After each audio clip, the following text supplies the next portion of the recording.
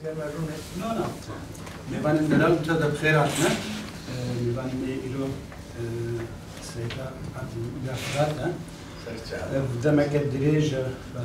سي سالا بشوت هات روجكي چونتا گلکی مزن هات وەک خەزینەیەکێ بوو بەلگە و بکومان فڵان بۆ مە سورپیزە باش بوو پشتی مۆت سوور ساڵی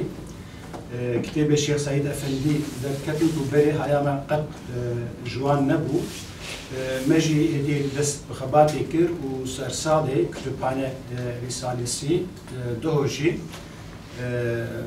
fetva fetvalar mecmuası derket dervê wê jî Seyda xebatek gelek dûr dirêj kiriye pêncî sale takriben li ser jiyan û serendana Şêx Saîd Efendî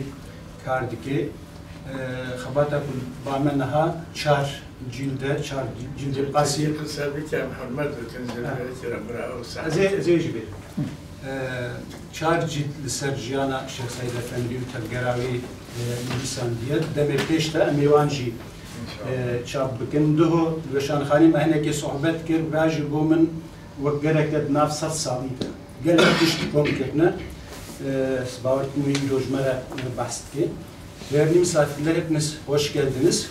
E, bugünkü konumuz, e, konuğumuz Abdullah e, Fırat Bey. E, daha önce Şeyh Said dedesi Şeyh Said Efendi'nin e, kitapları üzerine çalışmalar yaptı. E, yılbaşından önce şu kütüphane risalesini e, çıkardık. Daha sonra da yeni Fetvalar Mecmuası e, çıktı. Daha önce aslında hiçbirimizin Şeyh Said Efendi'nin eserleri olduğu konusunda bir bilgimiz yoktu. Bu vesileyle şeyi de öğrendik. Şeyh Said Efendi'nin çok zengin o dönemin şart, hatta bugünün şartlarına göre çok ciddi bir e, kütüphanesi varmış. 20 bin e, kitaptan e, bahsediliyor. Zaten bu kitabı okuduğunuzda göreceksiniz ki yani çok e, nasıl diyelim yani kitap kurdu mu diyelim çok kitapla çok çok ilgili. Sadece kitabın içeriği, e, yazarı, e, görüşleri konusunda şey değerlendirme yapmıyor. Ayrıca o kitabın e, cildi, e, e, şekilsel yani biçimsel özellikleri nereden aldığını ilişkin bilgiler de veriyor. Bugünkü kitap tanıtımları için bile rehber olabilecek niteliğe sahiptir. Şimdi sözü fazla uzatmadan konuklarımıza bırakıyorum.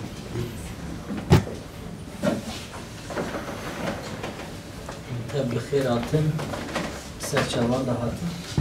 از تقدیمه که کم بکم گوتنی بدم عبدالله فراد از درباسی ترکی ببین لی چند گوتن کرد خوازم به کردی ببیجم شیخ سعید افندی یک شما کسایتانه که در دیروکا کردستانی ده ویتم ویتم در درباره وی ده بی آخافتی و گلک نقاش گلک بلکی مانیپولاسیون سپیکولاسیون در دوراوی وی چه ببین جبر کو تم دیروکا کردان دا اکتوال بچوا کسایتی کی وک شرف خانی بدلیسی وک ادریسی بدلیسی وک احمد خانی وک عبید الله نهری قال کسی دی دیروکا کردستان دا ویتم وتم بین اخافتن هر وها شیخ سعید افندیجی یکی جوانه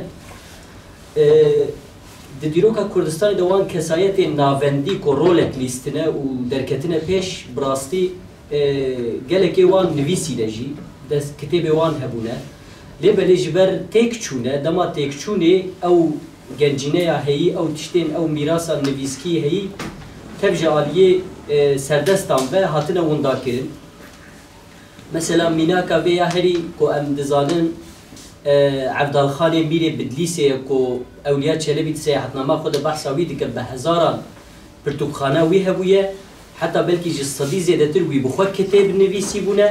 لبری پشتی کو عبدالخان جالیه ارتش عثمانی و تی تک برن و قصراوی قصر بدلیسه تی تالان کرن و او پرتوک ایرو لبر دسته ما هما بیجن یک جی تونه نگیشتنه روجامه وندا بونه یان جی هاتنه وندا کرن بلکه روجه که هنک جوان پیدا ببین یا شیخ سعید افندی جی بویرنگیه یعنی دما ام لوان کتابین بردست خود دنیرن وکه کتبخانه رسالسی بتایبت یعنی پرتوبخانەیە شێخسای دەفەندی ئەم دەبینم کۆ کتوبخانەیەکە وی گەلێک دەوڵەمەند هەیە لێبەلێژی بەر تێکچوونێ ئەوە نێزیکێ سەد ساڵی دەرباس بووە لێ هێن و هایا مەژ هێنێک تشتان. چێ دەبە ئەڤژی ئەس باوەرم ئەو تشتێن هەیژ سەدی بەلکی یەک دو دوێ وانە یعنی سەدی نۆت نۆت و پێنج نۆت و هەشت بەلکی هێژی وەنداینە و نە لە بەردەستێ منە ئیرو ئەمێ لەسەر بێمژارێک بە ئاخفن Bundan sonrasını Türkçe devam ettirelim. E, Abdülillah Fırat Türkçe olmasını e, tercih ettiği için kitaplar da Türkçe yayınlandığı için Abdülillah Fırat'ın iki kitabı Avesta'dan yeni yayınlandı. Kütüphane Risalesi ve e, Fetvalar Mecmuası. Bu kitaplar Şeyh Said Efendi'nin bizzat kendi yazdığı e, kitaplar. E, Abdülillah Fırat torunu olarak bunları yayına hazırladı ve yakın zamanda yayınlandılar. Abdülillah Fırat'ı kısaca belki tanıtmak gerekir. Şeyh Said Efendi'nin e, torunu olarak biliyoruz. Daha önce kendisiyle çok uzun röportajlarımız olmuştu. E, kendisi Kırklareli'nde e, aile sürgündeyken doğuyor. E, 1960 darbesinden sonra da cezaevi hayatı başlıyor. E, işte Kürt beyleri ve şeyhlerin yaşadıkları baskılara kendisi de e, maruz kalıyor. Özellikle Şeyh Said Efendi'nin oğlu Şeyh Ali Rıza'ya çok yakın bir hayat sürdürdüğü için e, birinci el diyebileceğimiz belgelere ve kaynaklara aşina e, bir insan bu kapsamda bugün kendisini e, dinleyeceğiz. E, isterseniz e, Seyit isterseniz e, Şeyh Said Efendi'den kısaca bahsedin. E, kendinizin onunla olan yakınlığını ve e, bilgi kaynaklarınızı gösteren bazı e, birinci el yakınlıkları da anlatabilirseniz iyi olur. Buyurun.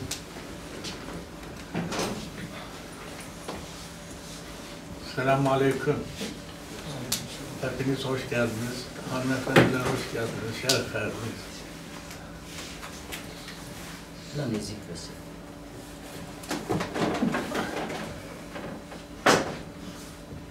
Siyasi sistem tarafından yok edilmesi için bütün gayretleri sarf eden Kemalist sistemin bize ağır geliyor anlatmamız çok zordur.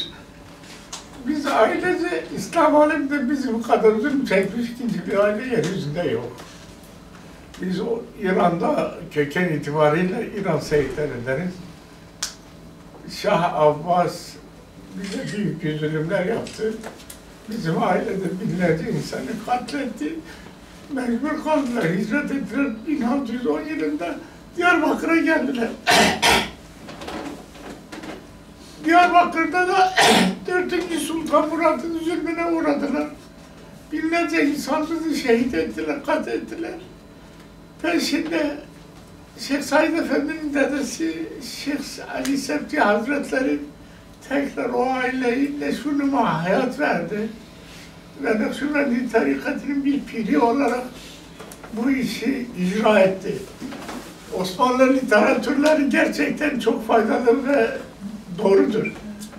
Arşivlerde bizim aileyle ilgili e, Sultan Ahmet'teki şeyde çok belgeler vardı. Onların bir kısmını aldım. Türkçeleştirdim. E, sonra da tabii Şeyh Said Efendi'nin kıyamı çıktı. Hareketi çıktı. Yani şimdi Türkiye'de her şey zıddıyla tanınır. Yani bir tarafta Şeyh Said'dir, bir tarafta Mustafa Kemal'dir. Mustafa Kemal, Kemalistler için neyse Şeyh Said Efendi de Müslümanlar ve Kürt kavmi için, Kürt milleti için de odur. Şeyh Said Efendi'nin mücadelesi yani Mustafa Kemal'a karşı mağlup oldu diye sistem 100 senedir aleyhinde propaganda yapıyor, kötülüyor, hıyanetle itham ediyor. Ama Mustafa Kemal'la ilgili kanun hakimiyeti altına girdiği için onunla ilgili tek bir kelime konuşulmuyor. Yani bu adalet midir?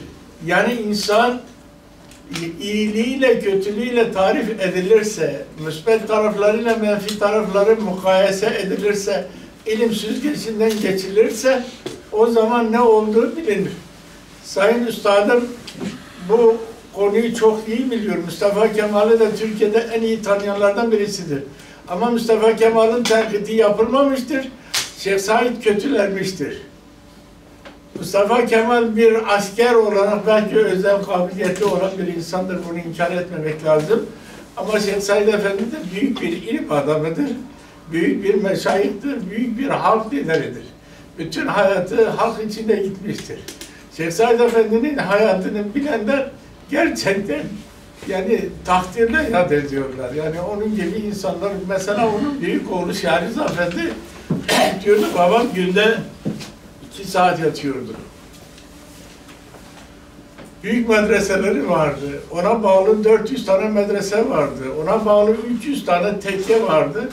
Bu tekkelerin, medreselerin bütün riyasetlerini kendisi sevk ve idare ediyordu.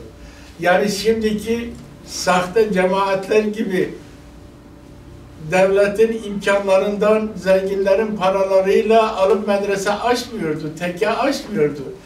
Mesela gidiyordu Malazgirt'in bir köyünde, Malazgirt'in en büyük ağazadesi orada karşımızda. Ee, orada medrese açınca diyordu, ben her köyde yani talebe yetişme metodu çok değişikti. Medreselerinde talebe yetiştiriyordu, kendisine ilmi icaze veriyordu. İlmi icazeden sonra talebelerini alıp staj yaptırıyordu. Staj şekli de yani hiçbir medresede olmayan bir staj şekliydi. Talebelerini alıyordu beraber Hınıs'tan çıkıyordu. Diyelim Malazgirt tarafına gidiyorsa her zaman gittiği yerde ikindi namazını mutlaka gittiği köyde kılardı. O talebelerini alıp dağıtıyordu. Halkın içine girip evlere misafir olun, halkın yaşantısını öğrenin, dertlerini öğrenin, onlara nasıl faydalı olacağımızı tespit edin.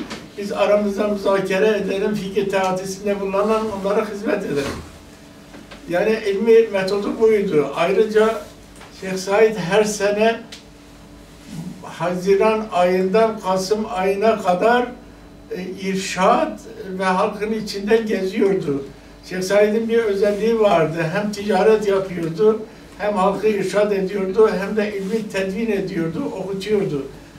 Ama başka e, ulemalarda bu özelliği görmedik. Ve Cenab-ı Hak kendisine büyük bir nimet servet vermişti. Yani büyük alimlerin e, hafıza çok önemlidir. Bu bilgisayarlar çıkmadan hafızanın e, gücünün ne olduğunu takdir etmek mümkün değildir. Şahriz Efendi diyordu benim babam tefsir ilmiyle ilgili Mekke'ye gitti. Mekke'de iki tane yani iki sene yaz olarak orada kaldı. Tefsir icazesini aldı. Sonra gitti tekrar Medine'de kaldı. E, hadisle ilgili e, icazeleri aldı. Kürdistan'da Kutubu Sitte yani altı tane kitapla ilgili hadis icazesini alan yok. Osmanlılarda var ama Kürdistan'da yok. Kesin yok.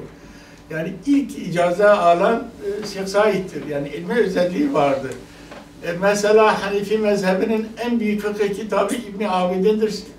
Yani Arapça orijinal metni e, altı cilttir. Hepsinin baştan sonuna kadar ezber olduğunu söylüyordular.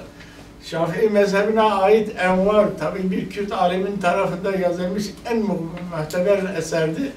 Onu da Şeyh Said Efendi hep ezbermiş. Yani Şeyh Said Efendi kütüphanesiyle ilgili söyledi, onu bir hatırayla anlatayım. Tabi ben Şeyh Said Efendi'nin oğlunun yanında, Şahriz Efendi'nin torunum onun yanında büyüdüm. Onu hep dinledim. Bir de Şeyh Said Efendi'nin icazet verdiği müderrisleri aşağı yukarı 10-15 tanesini görmek nasip oldu. Hepsi büyük alimlerdiler, çok zekidirler, kabiliyetliydiler, şair ruhludular. Onları gördüm, yakından gördüm, notlarını aldım. Şeyh Said Efendi ile ilgili hatıralarını hep dinledim. Sonra onları aldım, e, kaleme döktüm, e, araştırma yaptım. Fakat onun kütüphanesiyle ilgili eser bulamadım. Yalnız dediler 20 bin cilt kitabı vardı. Şahriz Efendi oğlu diyordu, bizim Kürdistan'daki mollalar e, avamdır diyorlar. E, dedi onların kusuru değil. Kürdistan'daki o zaman fakirdi. Fakirdi, medreselerde doğru dürüst kitap bulamıyordular. Yani Kürtçe diyorlar elmette domuzdan yani 12 elimleri okumak o belli kitapları vardı 15-20 tane onunla e, kanaat ediyordular. Onun dışında eser bulamıyordular. Mesela e, yani kütüphaneler olmayınca ilim inkişaf etmesi mümkün değil. Neden Diyarbakır'ı Kürdistan'ın ilim merkezi olduğunu e, yani biliyoruz ve anlatıyoruz. Şeyh Efendi bir kitabında da onu da ifade ediyor. Ben onu da yazdım, o kitap daha neşredilmedi. İnşallah yakında neşr oluyor. Selahaddin Eyyubi Diyarbakır'daki Ulu Cami Kütüphanesi'nde 1 milyon 50 bin kitap vakfediyor. E tabi bunlar hep büyük ilmi eserlerdir. Yani onun yanında onun için Molla Burani gibi büyük alimler hep Diyarbakır'dan yetişti. Osmanlı İmparatorluğu'nda Merkez İstanbul olduğu için e, burada da büyük ulemalar yetişti. Ama diğer aşağı yerlerde bulmadı. İşte Said Efendi Kürdistan'daki hocalarının e, kültürünü aldırma, e, e, genişletirmek için ben onu bir çobanından naklettim. E, çobanı Sofi Abdullah isminde birisi vardı dedi. Ben Şeyh Efendi'ye 15 sene çobanlık yaptım şehit oluncaya kadar. Dedi bir senede 15-20 sürü hayvan alıyorduk, götürüp Halep'te, Beyrut'ta, Şam'da satıyorduk. Affedersiniz tabii o hayvanlara gidince e, tabii çobanların rızklarını temin etmek için kantırlar vardı, eşekler vardı. Onlarla gidiyorduk. Dedi Şeyh Said Efendi bizden önce gidiyordu. Gidince de dedi her sene en az 10 kantır yükü kitap getiriyorduk. E, Yani Şeyh Said Efendi gittiği her yerde ilmi eserlerini temin etmiş. Burada da çok önemlidir. Yani mesela şimdi beyefendi okusun herhangi bir e, ilimle ilgili bir kitabı getirince kendi Arapça el yazısıyla onların kısa hayatını yazıyor, müsenniflerini yazıyor, muhtevalarını yazıyor, e, kitabın faydalı olan tarafları yazıyor ve tenkit tarafında yazıyor, sonra mülahazalarını yazıyor. Mesela bu yeni neşredilen fetva kitabında yani sigarayla ilgili fetva yazan ulema acaba beyefendi hiç duydunuz mu? Sigarayla ilgili bir fetva yazıyor. Yani siz kültür sahibisiniz, iyi bilirsiniz. Yani o kadar mükemmel bir şey yazıyor ki ben birkaç tane e, profesöre gösterdim. Acayip kaldılar. Dediler keşke Fahri e, Kerim Gökay olsaydı sen o aşırı bir kemalisti götürüp ona verseydin hoca sen müskilatla uğraşıyorsun, sigarayla uğraşıyorsun. Şeyh Said Efendi'nin bu kitabını da bir oku. O kadar güzel bir ilmi ifadeyle anlatıyor ki yani aklım görüyor, takdir etmemek de mümkün değil. Şimdi e, bu kitabı nasıl temin ettim? Ben çok araştırdım, çok gezdim. İran'a gittim, Arabistan'a gittim. Her gittiğim yerde Şeyh Efendi ile ilgili bilgileri topladım. Ama kendi el yazısıyla yazdığı kütüphanesiyle ilgili eser bulamadım. Sonra bir gün Molla Ali diye bir hocamız vardı. Bana telefon açtı. Dedi efendi sana bir müjde veriyorum. Dedim hayrola. Dedi Şeyh Efendi kendi el yazısıyla kütüphanesiyle ilgili bir kitap yazmış. Onunla ilgili e, bilgi var mı? Dedim yok. Sonra gittim sordum. Hınıs'ta Tılo esasen Tılolu olan e, Şeyh Esameddin isminde e, Said Efendi'nin talebeliğini yapmış birisini gördüm. Gittim kendisini ziyaret ettim.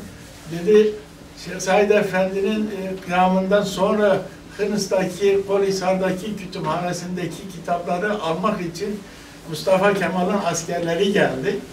Geldiler tabii e, ben de Said Efendi'nin hem talebesi hem komşusu olduğum için beni çağırdılar dediler gelin siz okuyun biz kitapları kaydedelim. Dedi ben kitapları okudum onlar yazdılar. Ben yani hangi kitaptır müsennifi kimdir?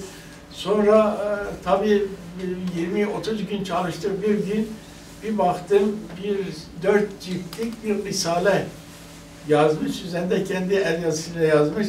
Kütüphanemle ilgili araştırma yapmayın ben hepsini yazmışım. Eli kitaplarımla ilgili bilgi e, arzu etmek isterseniz o risallerimi okuyun. Dedi ben tabii onları görünce e, tabii Kemali sistemin e, düzeninde o kitapları alıp götürmem komutana desem bunu ver bana mümkün değildi. Dedi ben eskiden bir şalvar giyiyorduk. Şalvarın üzerinde Kürtçe kiraz diyorlar. Yani gömlek vari bir e, e, şey uzun boylu. Dedi ben aldım kitabımı şalvarın arasına koydum. E, üzerinde de o e, iş gömleğimi bıraktım. Gittim. Tabii çok korktum. Babamın yanına gittim. Babam dedi bu kitabı sen çalmış getirmişsin. Bunu görseler seni de alıp Diyarbakır'a yani Elazığ'a istiklal mahkemelerine gönderirler. Sen için yaptın. Dedi ben çok korktum, ben götürdüm bunu gömdüm. Okumadım da götürdüm gömdüm. Dedi o korku üzerinde oluncaya kadar dedim ölmeden önce ben bunu bir evladıma vereceğim sonra ilgilere versinler.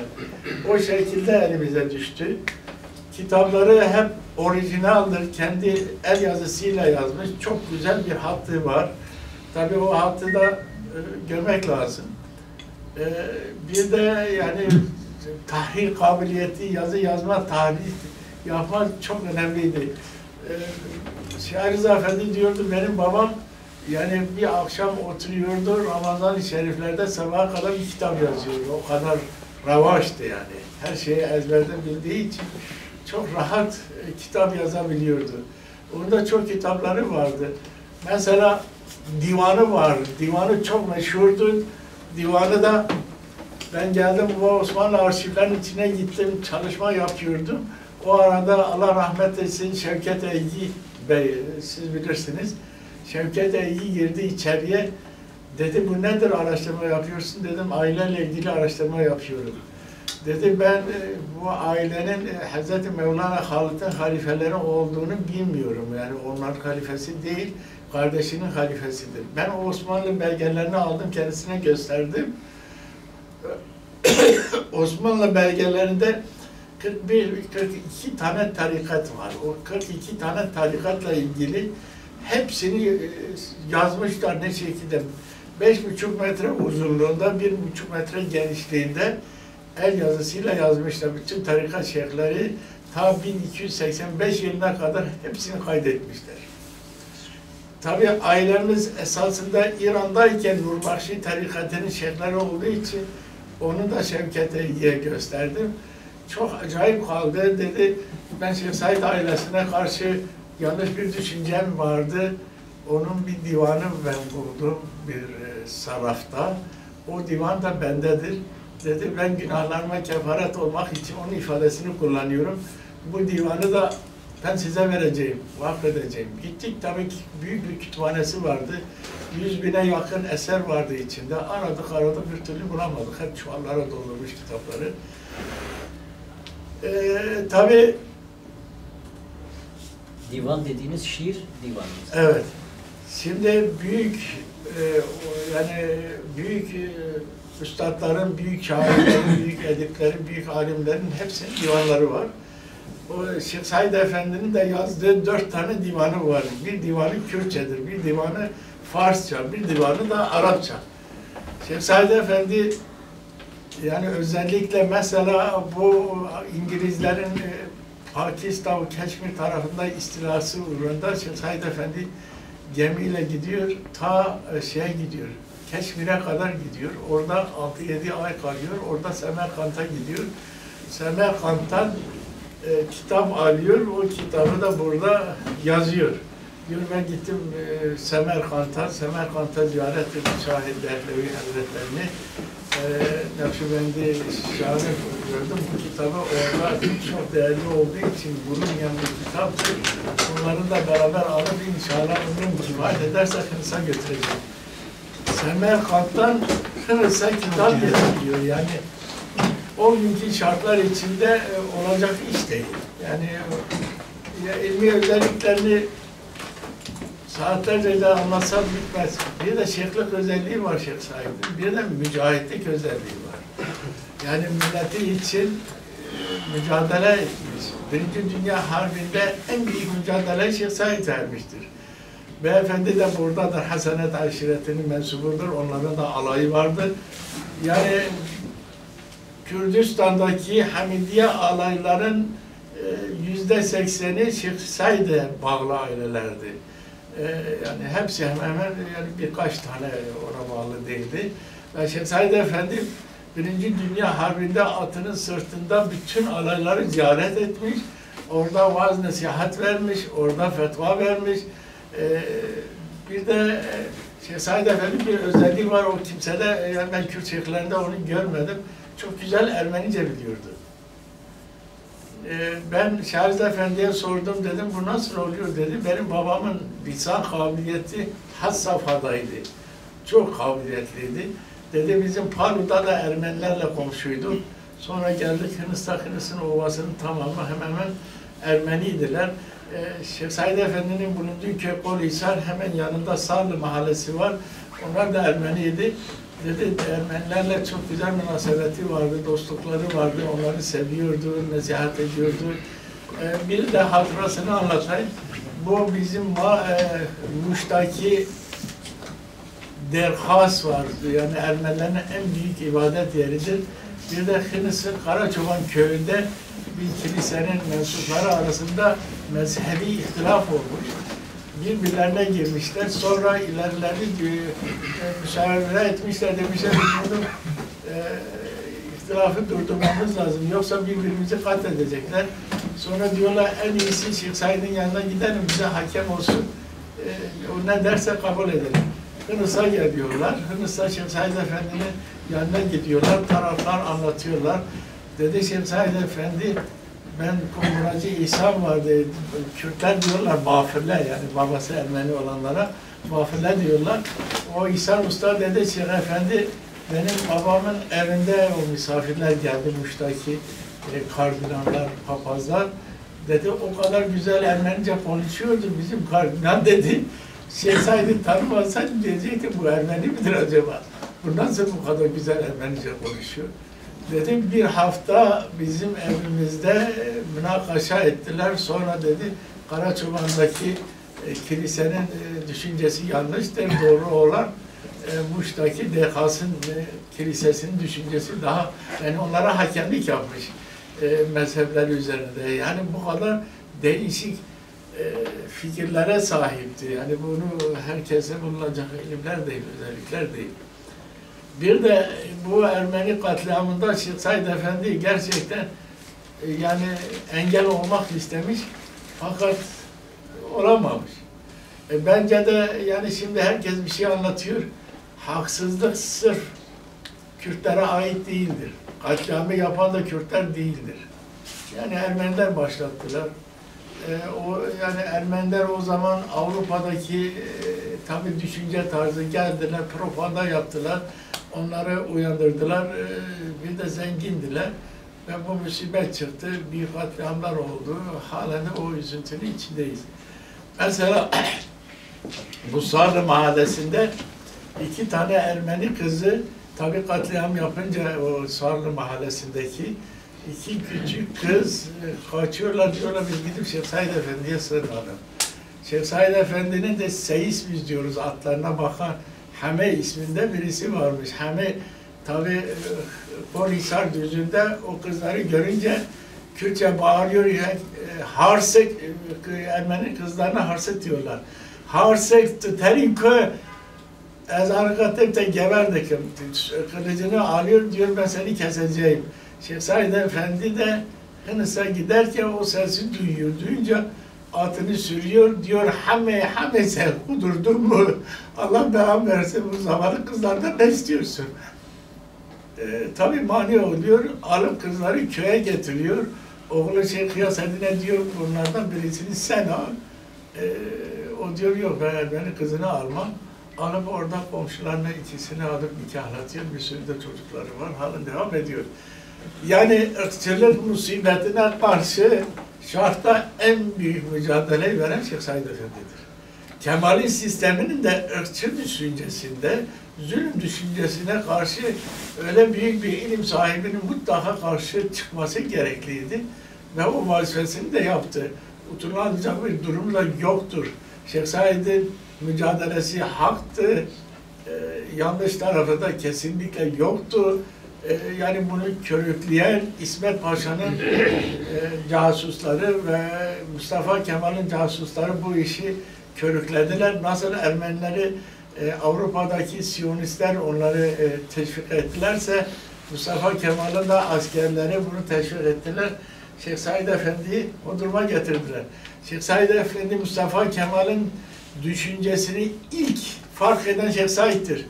1917-18 yıllarda Mustafa Kemal Kolordu Komutanı olarak Diyarbakır'a gelince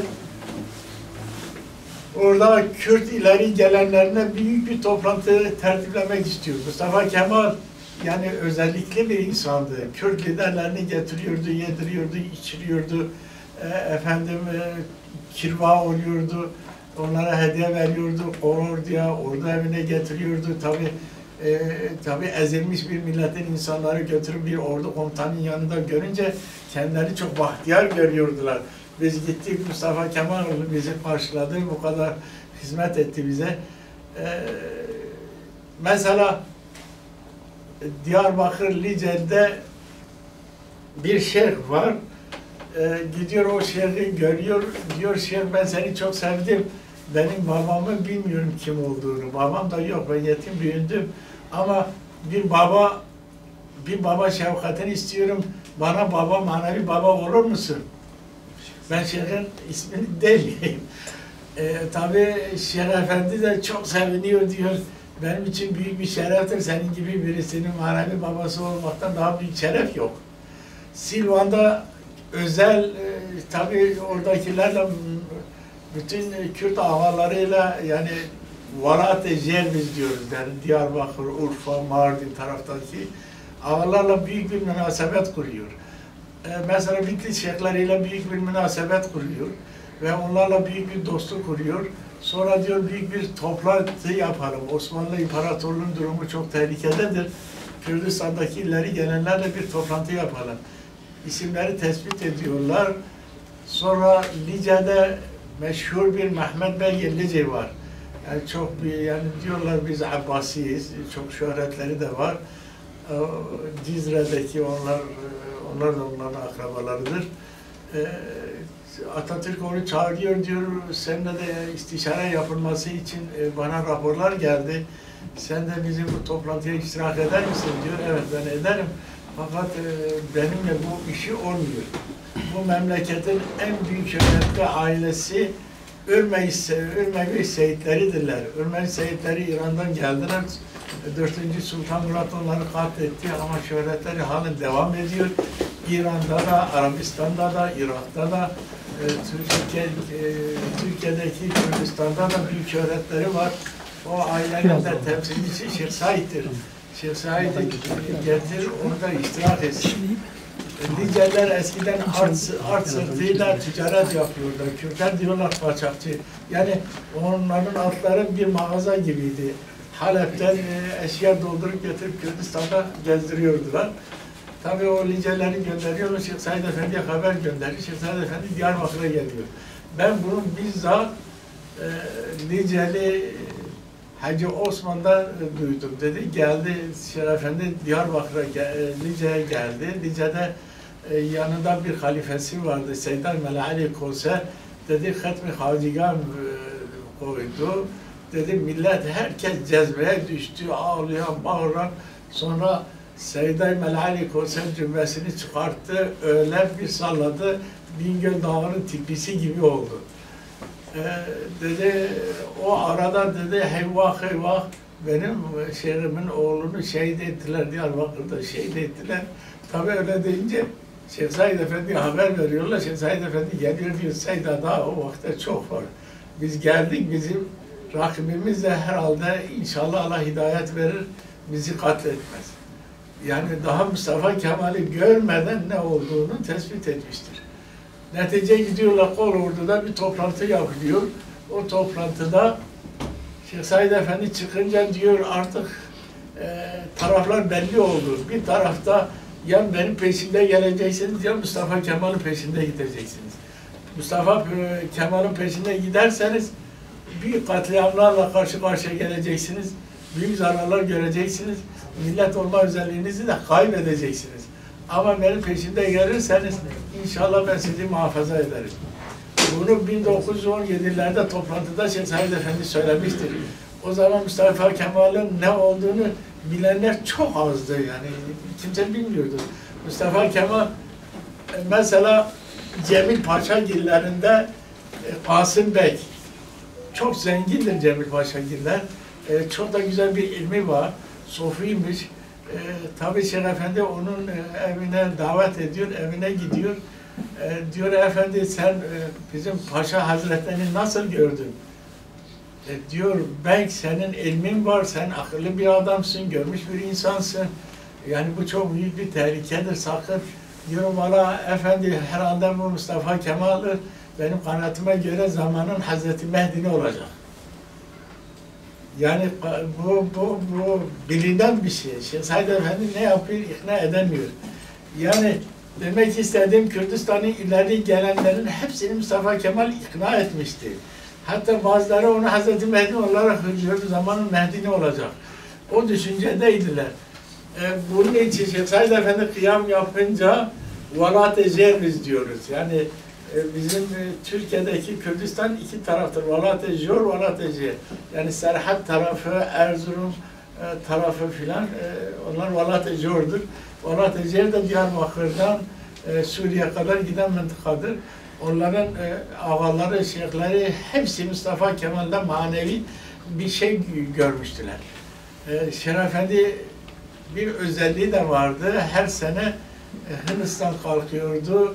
Bazen Halep'e kadar, bazen Şam'a kadar gidiyordu. Gittiği her yerde de e, yani halkı ikaz ediyordu, anlatıyordu. Fakat bir türlü o ağaları ikna edememiş.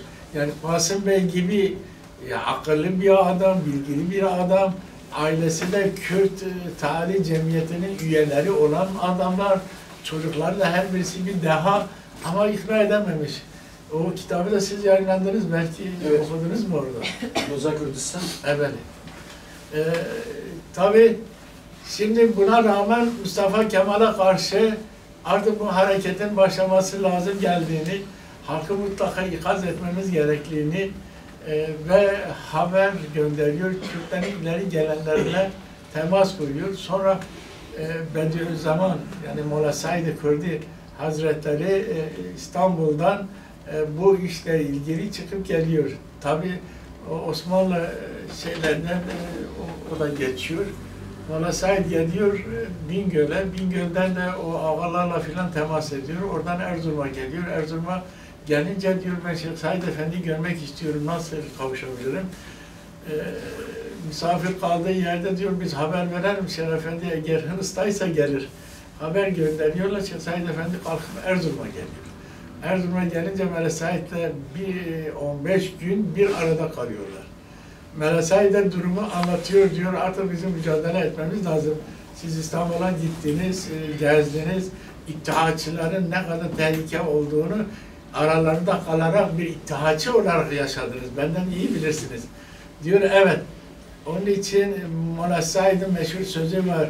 Estağfurullah mine siyaset diyor ya, itaatçilerin içine girince itaatçilerin ne kadar fitne fesat ehli olduğunu, ne kadar zalim olduklarını, bu millet için ne kadar zararlı olduklarını hissedince o lafı kullanıyor.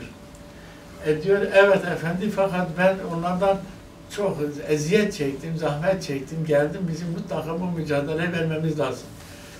Şeyh Said Efendi diyor, böyle bu mücadele bu şekilde olmaz. Biz halkımızı uyandırmamız lazım. Ben, oğlum, bana bağlı e, hoca efendiler, halifelerimi hepsini seferber ediyorum. Bütün Kürdistan'ı gelsinler. Bazı kavuşmadığım yerlere de mektup göndereceğim. Biz Diyarbakır'da yani 1925'te Golan ayında, Golan Kürtçe Mayıs ayıdır. Mayıs ayında bir toplantı yapalım, şura yapalım orada hareketimizin istikametini tayin edelim. Diyor, e, siz İstanbul'da kaldınız, yani siyasetin içine girdiniz. Bu şuranın da başkanlığını siz yapın. E, Bediüzzaman'a söylüyorum, Mola Said'e diyor. Diyor efendi sen yanında diyor ben şey yani ben bu işleri yapamam ben gelip iştirak ederim ama otorumu sen idare et. E, ve diyor siz e, Van'a doğru gidince Bitlis'teki, Van'daki e, onlara da e, şeyhlerine de söyler Mustafa Kemal'e uzak kalsınlar. Mesela e, yani şimdi isim veremiyoruz bazılarını.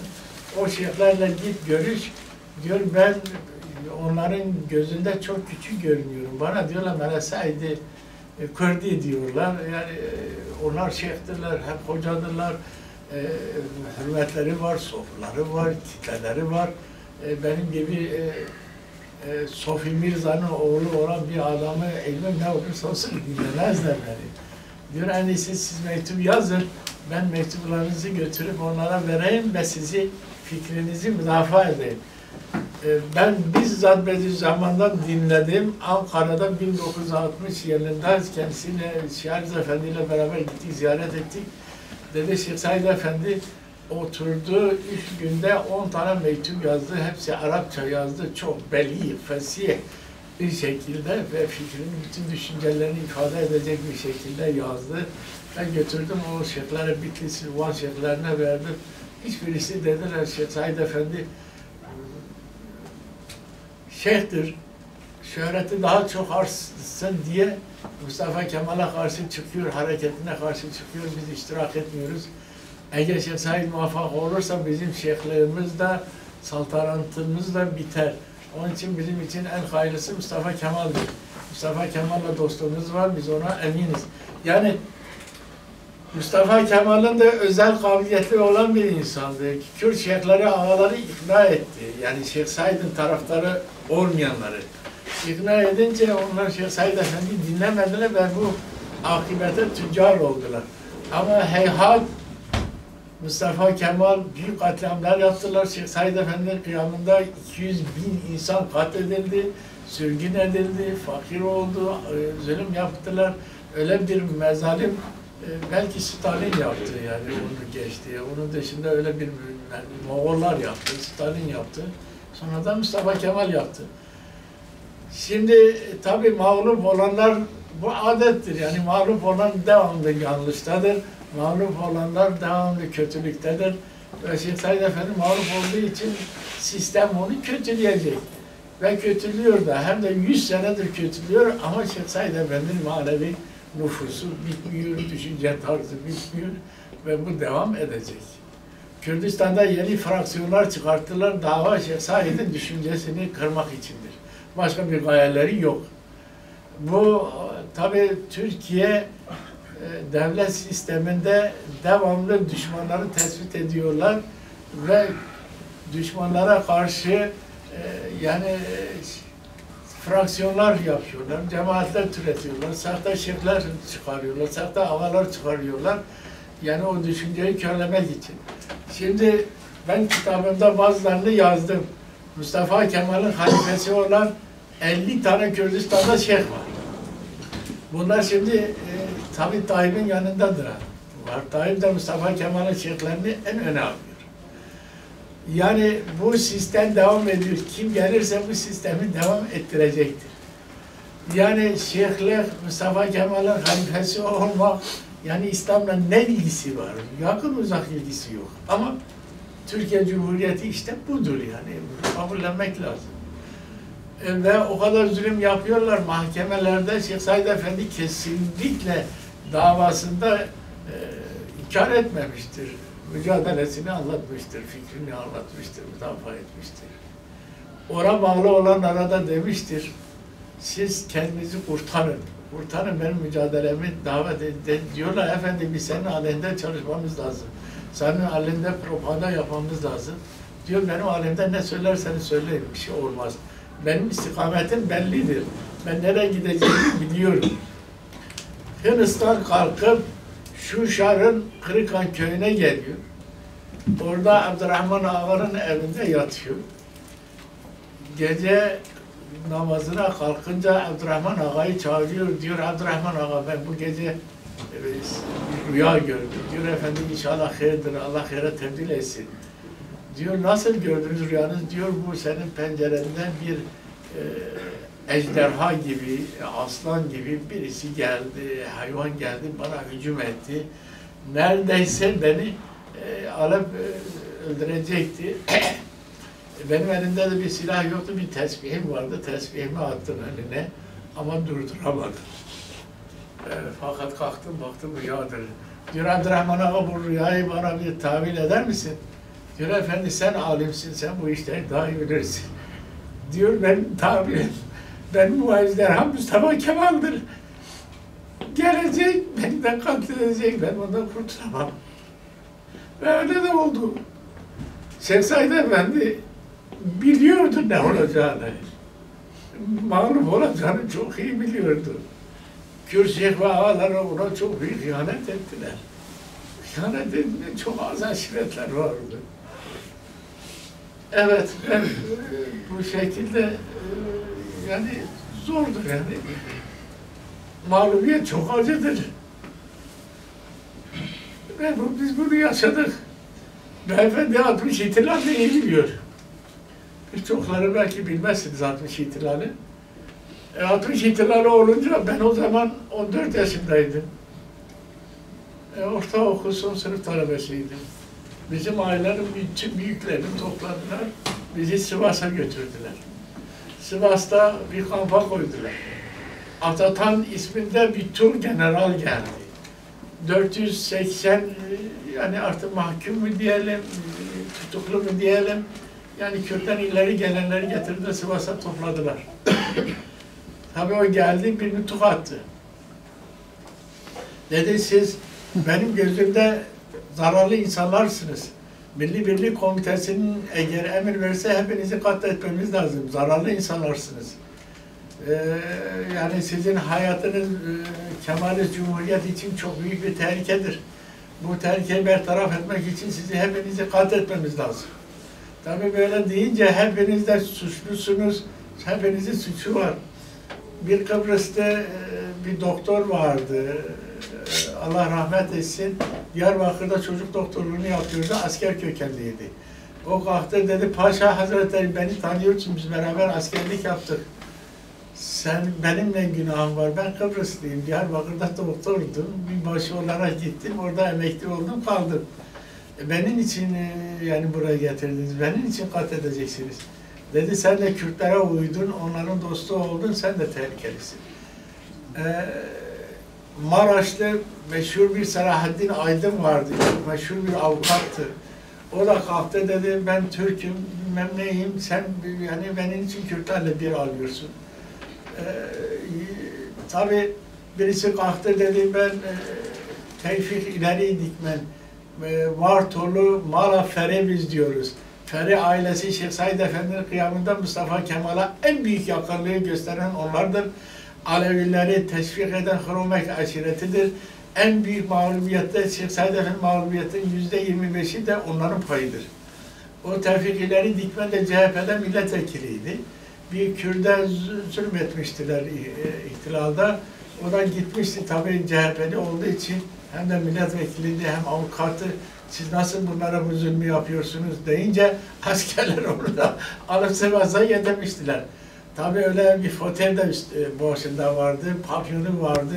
Öyle gururlu, kibirli bir şekilde Paşa Hazretleri dedi ben CHP milletvekiliyim, ben eski savcıyım.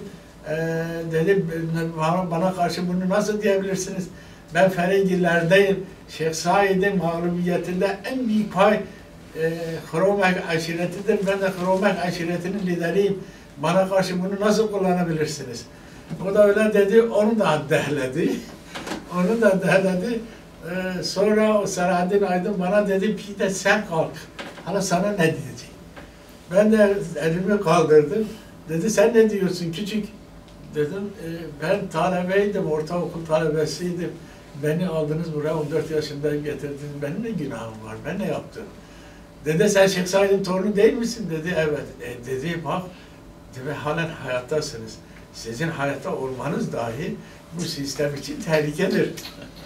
Evet, bunun şahidi 482 insan var.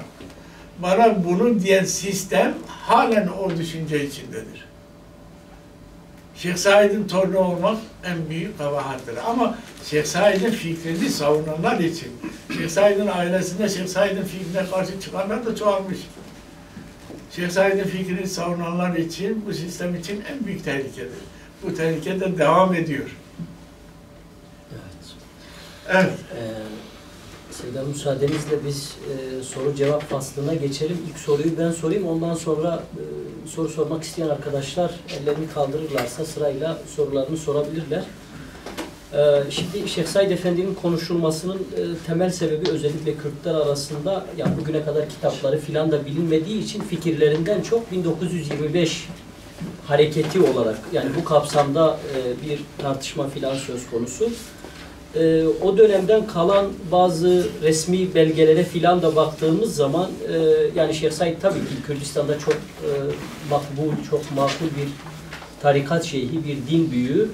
E, ama öte taraftan 100 yıl önce çok kritik bir eşikten geçiyor e, Orta Doğu, işte Kürdistan ve e, Kürt siyasası o dönemde e, self determinasyon hakkı kapsamında Kürt, Kürtlerin kendi kendini yönetme e, hakkına ilişkin bir arayış içerisindeler. Şeyh Said Efendi de bu e, arayışın içerisinde olan bir insan. Yani ilişkilerinden bunu anlıyoruz. Mesela biz e, seminerden önce e, Abdullah Bey ile konuştuk. Yani işte Şeyh Ali Rıza Efendi'nin e, 1925 hareketinden önce gelip İstanbul'da Seyyid Abdülkadir ki o dönemdeki Kürt siyasasının lideri Seyyid Abdülkadir'dir. E, hatta genel olarak bütün Kürt toplumunu temsil eden bir niteliğe sahiptir. E, si- siyasi, diplomatik görüşmeler de yapıyor. E, ayrıca Avesta'da o Seyyid Abdülkadir'e ilişkin de güzel bir kitap yayınlandı. Ben şahsen bütün arkadaşlara tavsiye ediyorum. Yine unutmadan Şeyh Said hareketiyle ilgili olması bakımından e, Binbaşı Kasım'ın, Binbaşı Kasım Şeyh Said Efendi'yi ele veren hain olarak e, biliniyor. E, Binbaşı Kasım'ın tuttuğu bazı notlar ve devlete vermiş olduğu bazı raporlar da o da Avesta'dan yayınlandı. O da o dönemi anlamak bakımından çok değerli bir e, eser. Şimdi o döneme baktığımızda e, mesela burada bir mektubu ben e, sanırım ilk defa okudum. E, Şeyh Said Efendi'nin işte e, 25-26 Mart 1925 tarihinde yazdığı bir mektup. Liceli Müftüzade Said Efendi ve Hüsnü e, Beylere selam ve dualar ederim. Şimdi Salih Bey'den aldığım rapordan bugün Lice'nin seçme yiğitlerinden mürekkep kuvvetinizin Salih Bey hele biz diyoruz. Hani bir Salih Bey. Evet yani Şeyh Said Efendi kıyamında Şeyh Said Efendi'den sonra en büyük manevi lider oydu. Büyük bir alimdi, büyük bir bilgindi. Ee, onlar da evladı Resulullah. Ee, yani kendisini mükemmel yetiştirmişti. Fransızca, İngilizce biliyordu. Yani özel bir alimdi. Evet.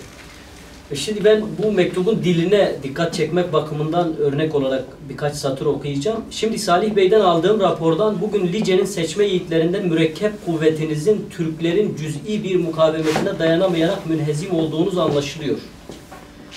Ee, Liceliler şimdiye kadar diyorlardı ki ah Türkler bir defa surdan dışarı çıksaydılar. İşte çıktılar sıra sizindir.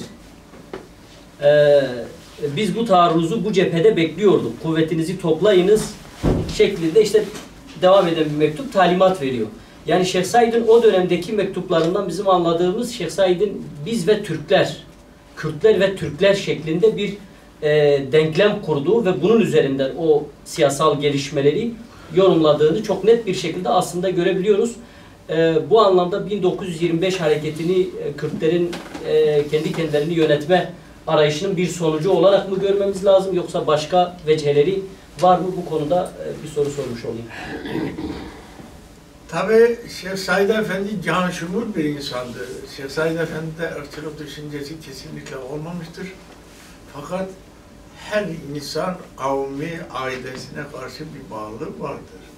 Şeyh Said Efendi'de de kavmine karşı, ailesine karşı, dostlarına karşı özellikle bir sevgisi vardır. Ve Kürdistan'da yapılan mezalimlere karşı bu mücadele yürütmek için halkı uyandırmış, ulemaları uyandırmış. Ez cümle mesela e, şey bir e, Irak'taki Said Mahmud Berzerci bizim akrabalarımızdır. Yani İran'da biz e, yani Şeyh Said ailesi Seyyid Musa'nın çocuklarıdırlar. Berzenci aileleri de Seyyid İsa'nın çocuklarıdırlar. Yani iki kardeşin çocuklarıyız. İran'dan hicret edince onlar gelip Kürdistan'da kalıyorlar Berzenci köyünde. Bizimkiler de Diyarbakır'a geliyorlar. Seyyid Mahmud'a mektup gönderiyor. O mektubun e, tabii ben kitaba koymadım. Şeyh Mahmud Berzenci'ye mi mektup gönderdi? evet. O Şeyh Said Efendi Şeyh Said. Efendi kendi yazısıyla yazıyor, gönderiyor. E, Diyor, e, sizin için en büyük tehlike e, nefttir. Yani e, Petrol. petroldür.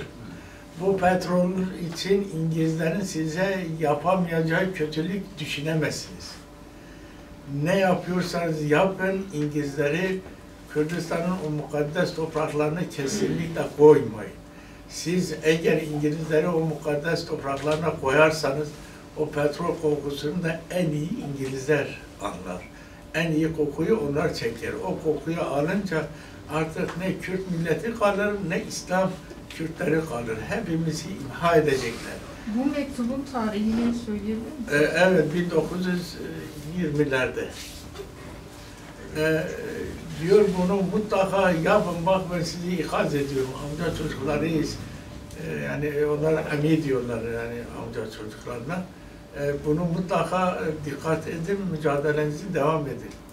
O arada Molla Mustafa Berzani e, abisi Şeyh Ahmet'le beraber e, şey, Şeyh Said Efendi ile görüşmek yapmak için e, tabi Berzani kitabında var. Siz yayınladınız o var mı yok mu bilmiyorum. Doz. Ben de efendim Doz yayınlandı. Doz yayınlarında mı vardı? Evet. Orada mektup geçiyor. Ee, ben bizzat Mesut'tan dinledim. Ee, dedi babam dedi abimle beraber biz gittik Şeyh Said Efendi ile fikir teatisinde bulunalım. Bu meseleleri tezekkür edelim, düşünce edelim. O, nasıl derse o şekilde hareket edelim. Dedi Şeyh Said Efendi duymuş bizi karşılamak için Muş'a geldi. Muş'ta biz karşıladık. Dedi beni aldı çok sevdi. Abime de sevgi, hürmet gösterdi. Dedi senin abin Şeyh Ahmet o şeyhliği neredeyse kendini peygamber görecek. Sakın onun peşinden gitme. O kendi çok büyük görüyor. Ama sen o şeyhlik yapma. Ben sana bir lakap takacağım. Sen molla ol. E, ilim ve ahlakın peşinde git. Abin peşinde gitme. E, dedi babam demiş Şeyh Said beni aldı, kucakladı, sıktı. Dedi bana Mustafa benim düşüncem neyse benim düşüncemle git. Şeyh Ahmet'in düşüncesine düştü. Dedi bende bir hal oldu. Ondan sonra ben abimle rakabet haline girdik. Şeyh Said'in fikrini ben savundum. Benim fikrim hala da Şeyh Said'in fikridir. Yani e, Şeyh Said'in ayrılıkçı değil de ama ezilen bir milletin insani hak ve hürriyetlerini almak için de yani o mücadele vermesi de e, onun tabii bir hakkıydı. Ve yapması gerekli bir şeydi. Ama Şeyh Said Efendi ırkçılık düşüncesiyle yapmadı bunu. Şeyh Said Efendi Yani bu biz ve Türkler derken onu nasıl anlamalıyız? Şimdi biz de Türkler değil de biz de Kemalistler yani Türklerin mezalimini dile getirmek için bizim Kürtlere, Türklere karşı en büyük hizmeti yapan Kürtlerdir. Onu da mektuplarında da yazıyor yani. E, diyor yani biz hiçbir zaman ihanet etmedik Türklere. Bu, bu zaten ırkçılık olarak değerlendirilmezse de yani o, o nitelikte değil. Diyor şey mesela Abdurrahim Rahmi Hakkari'nin bir şiirinde diyor ki Kürtler diyor çok samimiler diyor. Kimine, kime dost deseler, kardeş deseler ona hiçbir şekilde ihanet etmezler. Ama diyor maalesef diyor bizim kardeşlerimiz her fırsatını bulduklarında bizi sırtımızdan e, hançerlediler. Bir şiir yazmış. Yani şimdi bu tarihsel bir realite. O bağlamda yani Şeyh Said'in belki o yaklaşımını E, Said'in tabi muvaffak olsaydı elbette ki bir Kürdistan İslam Cumhuriyeti kurardı yani. Yalnız yani mesela mahkemede kendisine soruyorlar. Diyorlar efendi sen İslam'ın bir kıyam yapıyorsun. Savcılar ona çok hürmetle gösteriyorlar. Allah var. Hep Şeyh Efendi diyorlar. Şeyh Said diyorlar. Tutanaklarda var. Diyorlar İzmir işgalinde siz kıyam savunuyorsunuz. Yunanlar geldiler İzmir'i işgal ettiklerinde o da kıyam değil mi efendi? Ne diyorsun buna? Sen niçin kalkıp kıyam etmedin? Niçin onları müdafaa etmedin? E diyor hakim ben ben ettim ama kim diyor etmedim? Hınıs'ta büyük bir e, toplantı yapıyor, nümayiş yapıyorlar. 10 bin insanı topluyor. Orada e, o günkü siyasi iktidardan diyor bize müsaade verin biz gidip e, Yunanlarla mücadele edelim. Biz gidiyorduk ama hükümet müsaade etmedi, gidemedik. Ama e, yani emperyalist düşüncelere karşıyız ve ömrümde hayatımda hem Yunanlara da karşıyım hem de sizin emperyalist düşüncenize de karşıyım. Bunun için zalimlerle mücadele etmek benim dini bir görevimdir ve yaptım, yapacağım da. Evet. e, O zaman soru cevap faslına geçelim. Ee, soru sormak isteyen arkadaşlar buyurun. Ee, sorum iki tane sorum vardı. Bir tanesi bu e, Şeyh Said kıyamının ilk e, öncelikle aslında Azadi tarafından e, organize edildiği, daha sonra Şeyh Said'in getirildiği ve e, süresinden önce e, bir şey bir aksilik olup süresinden önce olduğu için e, başarıya ulaşılmadığı gibi bir söylem var. Bu konuda fikrinizi almak istiyordum. İkinci sorum da e, Şeyh Said ve diğer şeylerin e, Atatürk'le birebir teması var mı öncesinde? E, ve varsa eğer yani Şeyh Said'in görüp de diğer şeylerin göremediği ne vardı ortada? E, ikinci Ben biraz önce anlattım o konuyu. Mustafa Kemal Bu ilk, ilk sorudan başlayayım isterseniz. Ee, yani e, Azadi Hareketi önceden bir Azadi hareket hareketi planlıyor. Şeyh Efendi'yi bağlamamak lazım. Yani Şeyh Efendi'nin o azadi hareketi yani Şeyh Efendi de istifade etmek istediler. Şimdi aşiret reislerinin belli mühitleri var. Onlar kendi mühitlerinde bir egemenlikleri var, güçleri var. Ama mühitleri açınca pek ağırlıkları yoktu. Şeyh Said Efendi İran'dan al, Arabistan'a kadar git, şöhret sahibi bir insandı. O şöhretten istifade etmek için tabii e, mecburdurlar onu değerlendirmeye. Ama e, tabii herkes kendini e, değişik görüyor. Bu azadi hareketini yapanlar Şeyh Said Efendi pek bana almamışlar işin doğrusu. Yo, şey, soru şöyle e, hocam. E, bu 1925 hareketini esasında işte Kürt e, çevreleri A- a- planlıyor a- ama Azadilerle ilgisi yok. Şeyh Said hareketin lideri kendisidir. Kendisi hazırlamış. E, yani çalışmalarını Çok devam güçlü bir edecek. söylem hocam. Genelde çok söylenir yani hani hareket, e, Azadi hareketinin organize ettiği büyük bir e, şey var aslında arka planda Hoybun bu yani yo Hoygun'dan Yani önce Hoygun- gelişime baktığımız zaman Hoygun- önce Halil Bey mesela yakalanıyor. Sonra ilgili ben çok kısa cevap vereceğim. Hoygun'da Şahriz Efendi'nin gidip Hoygun'da Be- Beyrut'a gitmesine İngilizler, Fransızlar müsaade etmemişler. Sa- Şeyh Ali Efendi gidememiş, e, amcası Şeyh Mehdin Efendi e, gönderiyor. Bir de Mehmet Emin Brusk var, onun e, talebesi, büyük bir hoca, onu gönderiyor. E, bir de meşhur Ciğerhul, Şeyh Ali Efendi'nin talebesidir. Ciğerhul onun yanında okumuş. E, bir de Fehim, Fehmi Bilal. Fehmi Bilal, onları diyor siz gidin. Gidince orada tabi konuşmaları olmuş, Şeyh Mehdi'nin tarifiyle ben kısa anlatacağım. Onlara diyor siz şimdi iki güç araya koymuşsunuz. Bir tarafta Kemalist sistem, bir tarafta Ermeniler. Bizi de arada eziyorsunuz. Aynen yumruğunu da böyle tutmuş. Yani biz Kemalistlerle Ermeniler arasında bizim ezdiriyorsunuz, biz bunu kabul etmeyiz. Ve toplantıyı bırakın ki. Evet, e, Selam vakitte sınırlı Evet. olduğu için kısa kısa e, cevaplar şeklinde geçsek. E, buyurun. Hemen konuyla alakalı Evet. dağılmadan Şeyh Ali Rıza ile alakalı soru soracaktım da ben. Ee, ya Şeyh Ali Rıza'nın Bedirhane aileleriyle ilişkisi var mıydı? Mesela bu Hoybon'la alakalı bir daha tekrar edebilir misiniz? Vardı tabii. Vardı da yani Şahit Efendi Millet, Millet Fırkası, fırkasını kuruyor galiba. Irak'ta. Efendim? Millet Fırkasını kuruyor Irak'ta. Ha, sizin de galiba bir e, yakınlığınız var Şeyh Ali Rıza ile. Tabii Şeyh Ali Rıza'nın torunu. Torun musunuz? değil mi? Buna dair hani elinizde bir şey var mı mesela? Çok merak ediyorum da hatıraları falan var mı elinizde? E, Bir konuşma yaptı yeğeni Melik Fırat'ta. Yani Melik Fırat onun e, e, kız kardeşinin oğluydu. Abdülmelik Fırat biliyorsunuz. E, 1967'de Şahriz Efendi rahatsızlandı. Ankara'ya geldi. Ben o zaman Ankara Hukuk Fakültesi'nde talebeydim.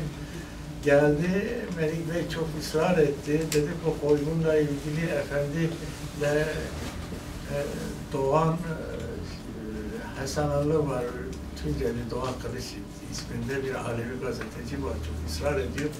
Bu konuyu sizinle bir röportaj yapmak istiyor. Siz müsaade eder misiniz? E, Efendi hiç arzulamadığı halde yeğeni Melik'in çok ısrarı üzerine dedi gelsin. Geldi bir iki bant doldurdu. O bantları da Melik Bey'in torunları herhalde yayınladılar. E, fakat e, Yani Bedirhanelere bir küskünlüğü falan var mıydı? hayır. Yok. Yoktu da yani Bedirhanların yani Kürdistan'da Bedirhanların bütün davası yani benliklerini muhafaza etmek, liderlik konumunu kimseye kaptırmamak. Yani o düşünceler var. Peki hocam elinizde hatıraları yok değil mi şey Ali Rıza'nın size dair mesela sizin Nasıl yok? Ben onun yanında büyüdüm. Ya Bir şey var. Bunların bir kitap halinde Tamam kitap halinde işte. kitabını bahsetmişim. Başka soru sormak. Buyurun. Ee, hocam de- demin dediniz ki Avrupa'da Ermenileri Siryonistler kışkırttı. Evet. Yani benim bildiğim Ermenileri o dönemde kışkırtan İttihat Terakki ve Türk basını. E, Yani onları Siyonistlerin ne alakası var? Yani Merak İttihatçılar- ettim. İttihatçıları yönetenler kimdi? Avrupa emperyalistleri. Onların yöneticileri onlardı yani. Ben değildim. Yani İttihatçılar sonuçta Osmanlı emperyalizminin bir sonucusu. E, Osmanlı emperyalizmi de var o dönem. Yani yok. Osmanlılarla İttihatçılar fikir benzerlikleri de yok. Ya sonuçta onun ürünü yani onun içinden. E, onların paşaları da, onların askerleri de ama Osmanlı fikrine karşı. Evet. Efendim saygılar var. Peki bu Şehzade Efendi'nin kabrine yönelik arşivlerin açıldıktan sonra e, ben bir Mahmut e, evindeydi. gösterilmesine dair bir çalışma yapılıyor mu? Ve e. Onu da yeni çıkarttı. Şimdi- bu Ben- Mezar sorun yeri, oldu. mezar Yani. Ben, şey yani Şahriz Efendi'nin ifadesiyle Cenab-ı Hak Şeyh Said Efendi'ye en büyük mertebeyi şehadet mertebesi verdi. Ve İslam kitaplarına göre, Kur'an-ı Kerim ve hadislere göre peygamberlerden sonra en büyük makam şehitlerin makamıdır. Şeyh Said Efendi de zulme karşı, küfre karşı kalkmış, kıyam kalkmış Cenab-ı Hak o şehadet mevkisini ona ve arkadaşlarına nasip etmiştir. Bundan daha büyük bir manevi e, şey yok. Mesela Hz. Ali'nin de mezarının yeri yok. Hz. Hüseyin'in de mezar yeri belli değil. Yani Şeyh Said Efendi'nin nerede defnedildiğini çok iyi biliyoruz. Evet. İslam şey Kemal İslam'ı bir gibi yer oluyor. gösterirse Hayır. biz de çocuklarımıza efendim gösteririz. Şurada diye yani. Şey- Yani o bir girişim var mı e, hocam onun mezar yerinin tespit Şimdi edilmesi? Şahriz Efendi'nin yani onun varisi Şahriz Efendi'ydi. Büyük oğluydu. Eğer Şah muvaffak olsaydı yani Şeyh Said Efendi manevi müdür derdi. Yani idareyi oğluna verirdi. Oğlu da mükemmel bir devlet adamı. Evet. Yani mezar çok önemli değil.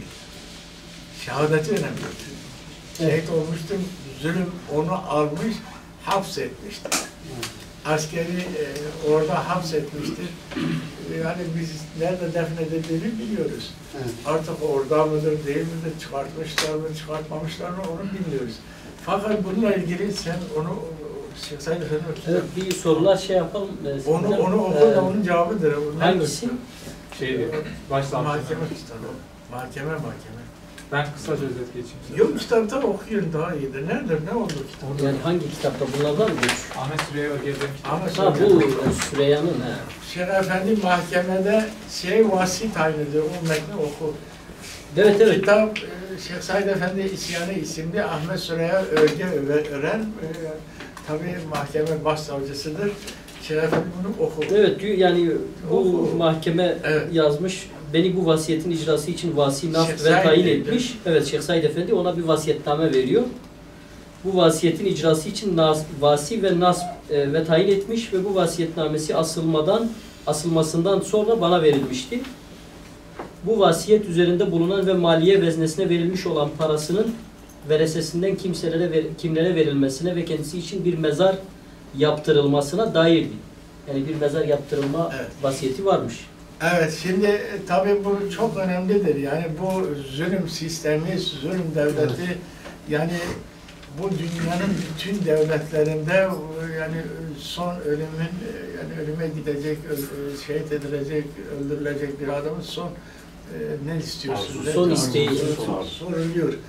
E, Şeref Efendi de vasiyetini yazıyor yani iki sayfalık bir vasiyet yazıyor yani çok ilmi bir şekilde davasının haklı olduğunu, mücadelesinin haklı olduğunu ama sizler tarafından katledileceğimi katledilince de benim mezarımın yeri olmasını ben arzuluyorum.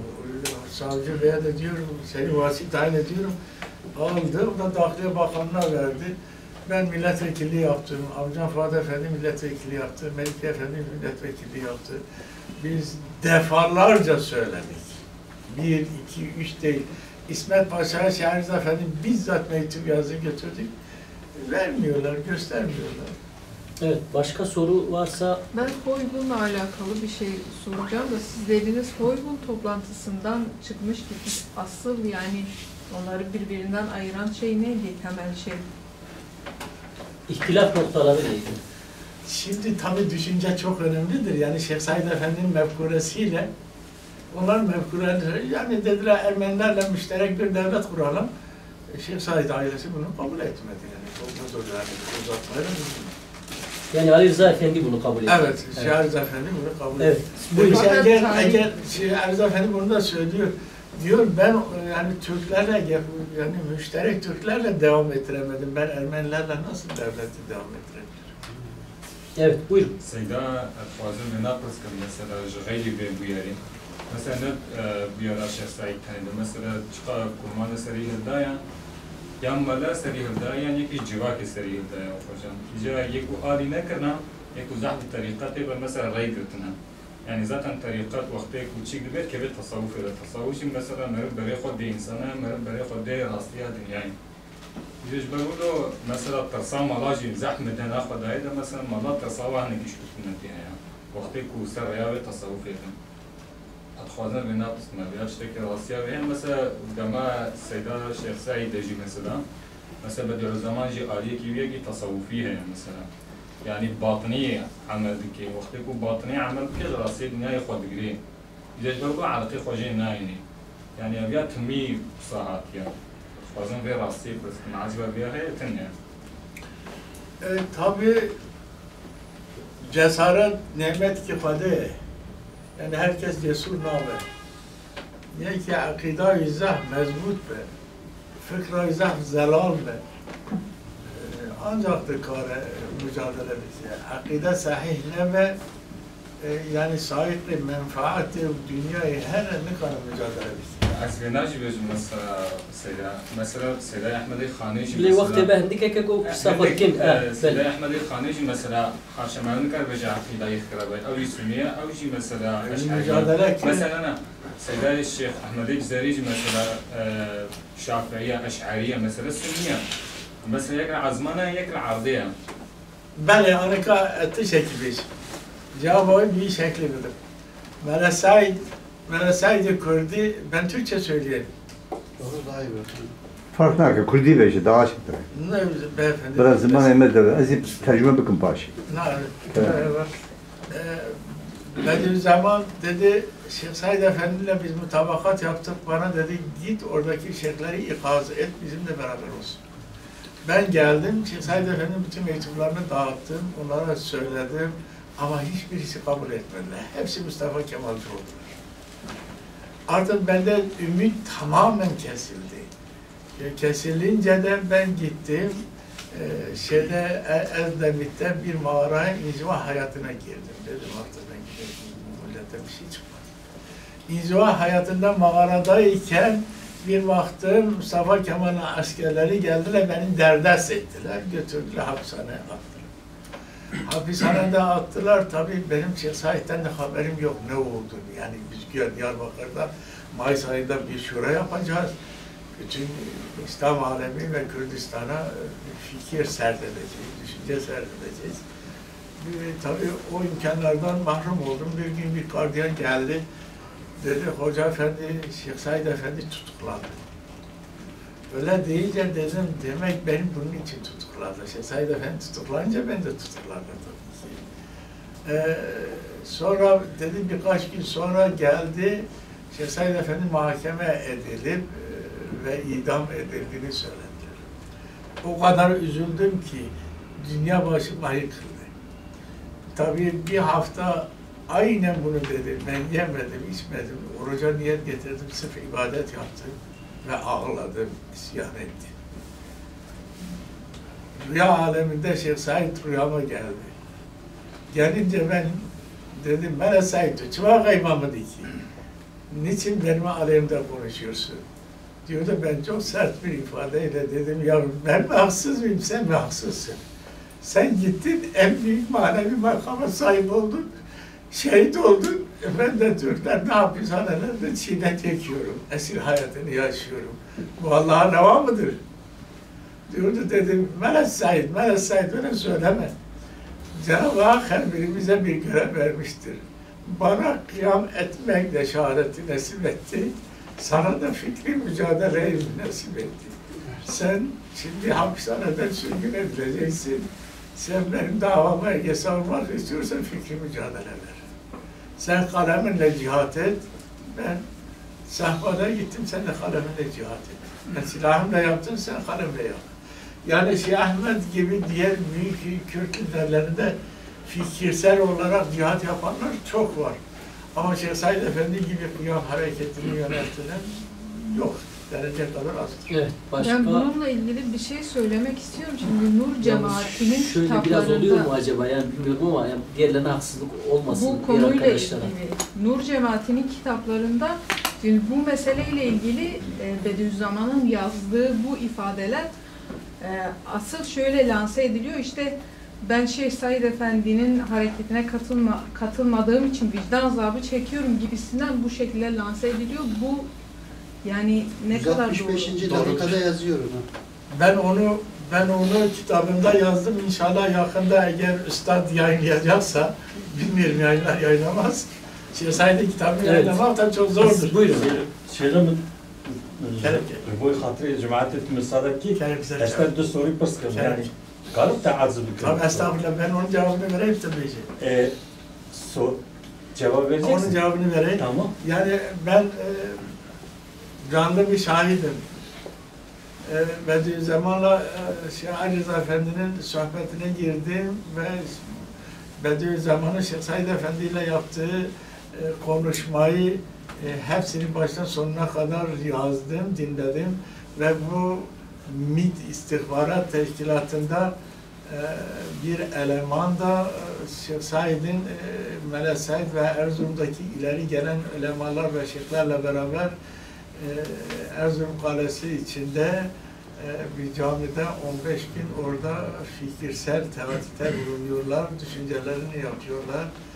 E, Yani onları hep dinledim ve kitabında yazdım. İnşallah nasip olursa kitabımı neşrederse okuyacaksın. Çok mükemmel bir şekilde yazdım yani onların ifadeleri. Evet. Evet. Ama gerek Selam hürmet kim? Estağfurullah. Aziz de Suriye Pırskan. Evet. Yaşamış bu de zindana e, Sivas'da. Sivas'da. Evet. Tevya bini e, zaman Kuçava yaşamış bu. Suriye ki e, dinimize göre yani Allah'ın indirdiği din bir de bildirdiği din var. Şu anda söylenen İslam. Şimdi indirilen dine göre Allah bütün kainatı yaratmış. Yani benim taptığım Allah Müslümin Alemin. değil, Rabbül Alemin. Evet. E bütün alemler şu anda bütün yaşayan insanlar yani Ruslar, Almanlar, Fransızlar, Ermeniler, Türkler, Farslar, Araplar herkesin devleti var.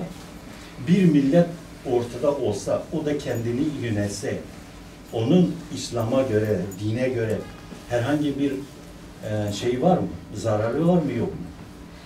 Evet, Yani şimdi, İslami şey evet, olarak. Şimdi e, bizim Sivas'taki e, tabii kampta e, yaşantılarımız çok değişikti. Milli Birlik Komutası'nın emriyle bir gün sabahleyin kalktık. E, Beşinci Er Eğitim Tugayı'nda biz, üç tane asker şeyi vardı, e, böyle yerleri vardı, bizi orada koymuşlar. Her birisi e, 80-90 tane alıyordu. E, tel örgüsü çevirmiştiler. Ee, Bir baktık askerleri doldurmuşlar.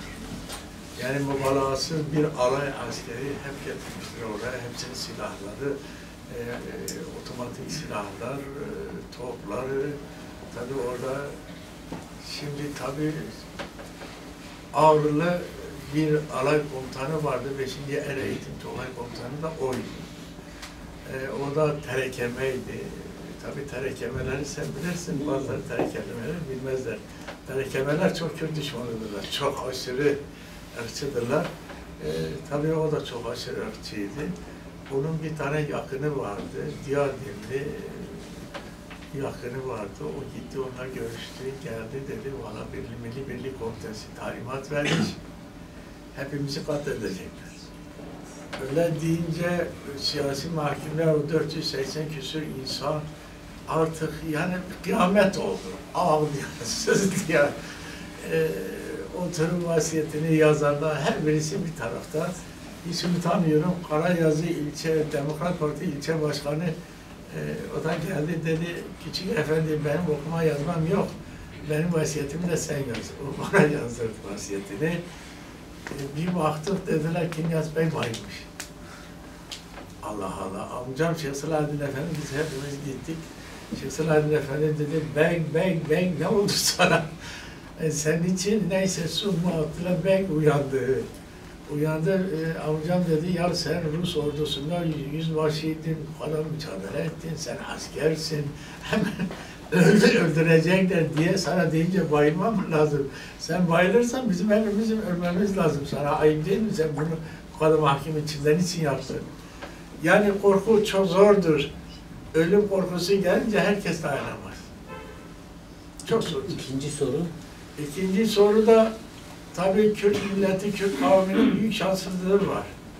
Yani dünyada can şumul milletlerden birisi İran'dır. Bir tarafta Araplar, bir tarafta Türkler. E, tabii bu üç büyük gücün arasında ezilmek de biraz tabiidir.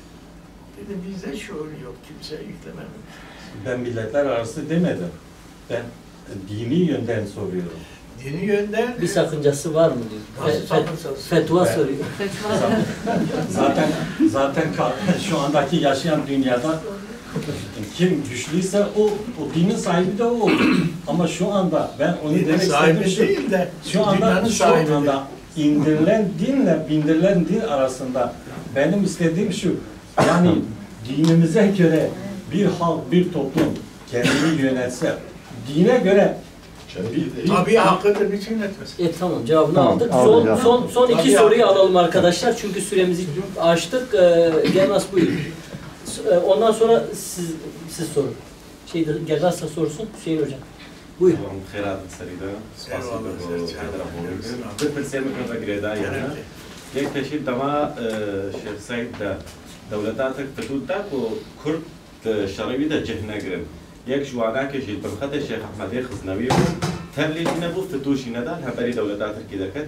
یا دو از دخوازم مثلا مستر به چی بیشم ترسال دو آجی یکی دیا ملی براتی لحف کرن و نلحف کرنا شیخ سید و سعید رضا. امکانه سر به چی بیشم يعني يتشانا ما بيجي هيك الراس مسابقة الراس مسابقة بجنابه sevkim cinabe. بلد يا ما بقول Yani sere bakım, dere bakım ne var cimri anlar. Rast mı sevke milleti bir anlar. E, baş, Bilal Hüseyin, e, Kak Hüseyin Kerem. Merhaba Mustafa, hoş geldiniz. Şimdi bu tabii konu e, kitap dışında çıktı ama öncelikle şöyle bir problem var. Şimdi e, meclisin bastığı Şark İslam mahkemeleri var. Bir Evet. ciltlik. Tutanakları hep Evet. yazardı. Evet, o tutanakları biz okuduk. Evet. E, Osmanlıca olarak okuyorsunuz. Orada hakim özellikle Şeyh Said Efendi'ye Kürdistan'la ilgili soruları var. Evet. Şeyh Said ısrarla bunu reddediyor. Şimdi sizin bu konuda yani Şeyh Said Kürdistan'ın bir kimlik pozisyonda olmadığını hakimlere karşı açık bir şey cevap var. Bir tek Haneli Salih Bey. Salih Bey dışında yani hemen hemen herkesin böyle bir pozisyonu olmadığını ifadeleri var. Siz yani bu resmi söylemin dışında bu karşılaştırma yaptınız mı hocam? Birincisi bu. İkincisi tegami konusu var orada. Müzik, sigara ve benzer meseleler var. Evet. Gayet klasik Arap düşüncesini yansıtmış orada. Arapça İslam'ı düşüncedir. Aha tabii yani Arap kültürünün mesela bunların haram olması Araplarda ne ilgisi var? Arap Araplar daha mı? İslamiyet'in bir Ben Arap'ım kültürü. zinciri. Yok, ben sana şunu söylemek istiyorum hocam şu. Yani teganniye yaklaşım biçimi, teganni. Ki e, malum biliyorsunuz sigara kavramı da helal ve haram tartışması yapılmış. Bu konuda metinler de var. Şeyh Ubeyda'nın oğlu tütün sattığı için Osmanlı tarafından haram edilmesi gerektiğine dair de görüşler de var. Bunun dışında sigara yaklaşım biçimi biraz daha selefiye yakın bir pozisyonu var. Mesela sizin güncel olarak, mesela müzik kavramının veya buna benzer kavramları nasıl değerlendiriyorsunuz hocam?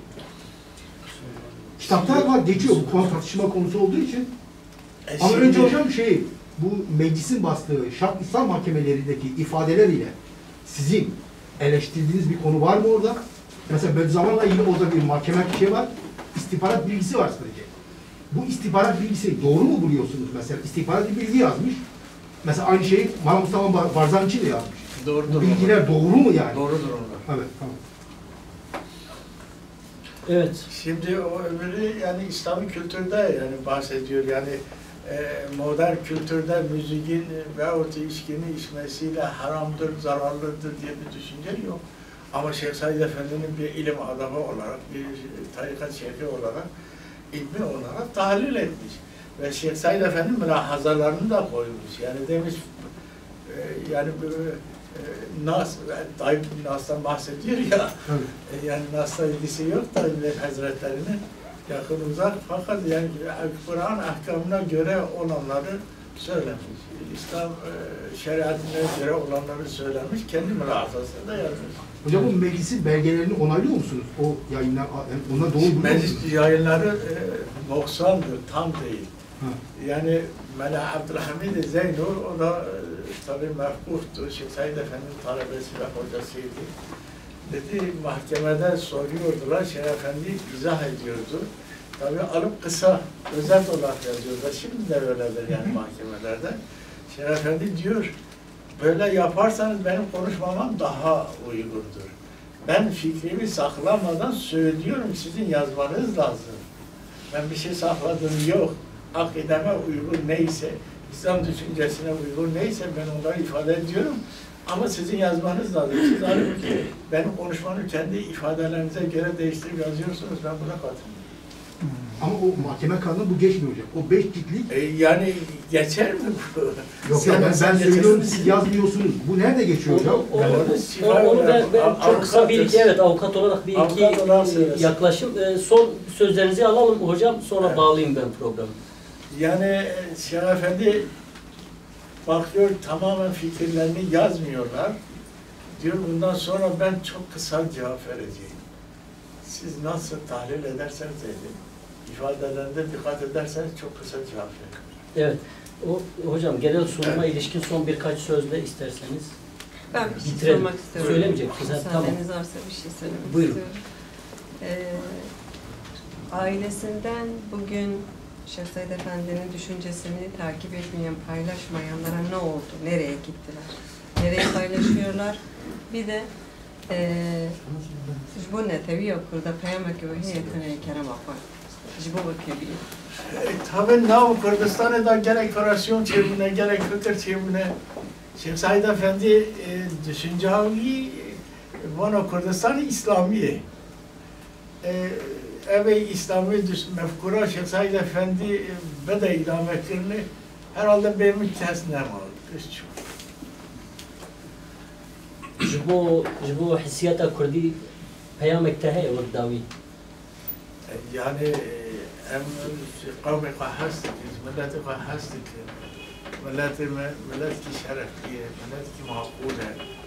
Bir milleti hakkı ve esareti sünnet. Yani hakkı misali, içtimai, hukuki. Çibe gereka müdafaa bı. Hakkı kabbu khazı. Yani dava e, Ravin Ee, bu davi ama Kerem. Teşekkürler. Çok e, istifade ettiğim bir panel. Bu kadar e, iyi istifade ettiğim bir panel hatırlamıyorum. Bir şey çok önemli bence. E, beyefendi de söyledi. Yani Şeyh Said'in bağımsız Kürdistan'la ilgili, fikriyatıyla ilgili tartışmalı bir alan var. Aynı zamanda Azadi hareketiyle ilgili ilişkilerinde de bir e, tartışmalı bir konu var. Şimdi siz konuşurken ben haber yazdım ve başta da işte Şeyh Said'in e, Kürdistan İslam Devleti gibi bir hayal ya da isteği var dedim. Devam etmeli miyiz bu iddiaya yoksa başlığımız boşa mı düşer? Şeyh Said Efendi fikrini devam edenlerin devam etmesi lazım. Hayır, böyle bir başlık biz koyduğumuz ya da bu tartışmaya Şeyh Said Efendi'nin bir bağımsız Kürdistan İslam Devleti hayali vardı demek. Vardı değil düşüncesiydi. Evet, teşekkür ediyorum. Ee, arkadaşlar süremiz bittiği için e, sonlandırmak durumundayız. Ben İkek Hüseyin'in sorduğu soruya ya bir avukat olarak 12-13 senedir mesleğin içinde olan biri olarak mahkeme tutanaklarının e, herhangi bir sonuca ulaşmak açısından tek başına yeterli olmadığını kesinlikle kabul etmemiz lazım. Özellikle ya bir insan idamla yargılanıyorsa o insanın verdiği ifadelerin e, bütün şeffaflığı ve açıklığıyla olabileceğini düşünmek imkansız. Böyle bir şey yok ya, böyle bir pratik de yok. E, ve yani mektuplarla, yani Şeyh Said'in başkalarına gönderdiği mektupların içeriklerini okuduğunuz zaman onun kullandığı dil ile mahkemede kullandığı dil birebir örtüşmüyor. Yani doğal olarak örtüşmüyor. Dolayısıyla bizim o mahkeme tutanaklarını kendi zemini içerisinde bazı vesikalar olarak e, değerlendirmeye almamız gerektiğini düşünüyorum. Bu iki kitapla birlikte biz e, ilk defa Şeyh Said Efendi'nin bizzat kendi el yazısı olan iki evrağa kavuşmuş olduk. E, birisi onun kütüphanesinin e, içeriğine ilişkin, bir tanesi de onun bazı dini konulardaki e, görüşlerine ilişkin fetvalar diyebileceğimiz şeyler. Bunlar ilmi anlamda okunup tartışılması, düşünülmesi gereken veriler, bilgiler, belgeler. Yoksa inanç anlamında isteyen buna dinin esası gibi inanır, isteyen inanmaz o ayrı bir şey. Ee, Şeyh Said Efendi'yi Kürtler için önemli ve özel bir yerde tutan dediğimiz gibi 1925 hareketine liderlik etmiş olması bundan sonraki süreçte eğer onun fikriyatına ilişkin farklı bazı bilgi ve belgeler, evraklar ortaya çıkarsa şüphesiz onun fikirleri de e, daha fazla e, tartışmaya açılacak e, diye düşünüyoruz. Ben Abdülillah Fırat'a çok teşekkür ediyorum bu emeklerinden ötürü. İnşallah diğer çalışmaları da okura ulaşır ve bu konular Kürt camiası içerisinde ve daha geniş bir yelpazede de tartışmaya vesile olur. Hepinize çok teşekkür ediyorum katıldığınız için. E, Abdülillah Bey'in kitapları da burada imzalatmak e, imzalatmak isteyen arkadaşlarımız imzalatabilir. E, çok teşekkürler. Sağ olun, var olun. Hocam ben e, İstiklal Mahkemesi'nin beyefendiye kısa bir ek ilave yapmak isterim. Şöyle bir şey var. 5 ciltlik İstiklal Mahkemesi evrakları yayınlandı ama onun haricinde İstiklal Mahkemesi'nin yaklaşık 100 GB, 10 bin küsür sayfa evrağı var. Onları meclis başkanı özel olarak babama verdi. Kıyaslamasını yaptığımızda arada farklılıklar var. Onu ben... Evet, evet. Aynen.